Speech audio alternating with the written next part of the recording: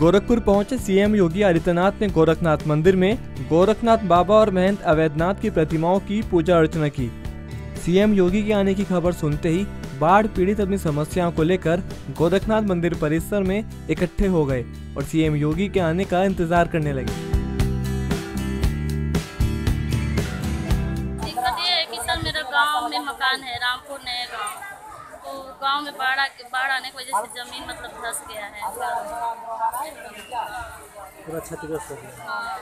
तो क्या आप लोग यहाँ तो फिर मंदिर बाबा के मतलब कुछ उम्मीद होगा कुछ अपना कुछ करे व्यवस्था। एक तो राशन उसन भी नहीं मिला है। जो राशन नए गाँव का बटा है वो भी नहीं मिला है। हमारे परिवार को हमारे देवर को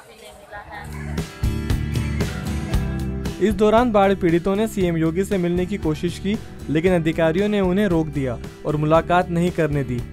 वही मंदिर में सीएम योगी के आगमन को लेकर सुरक्षा व्यवस्था चाक चौबंद रही।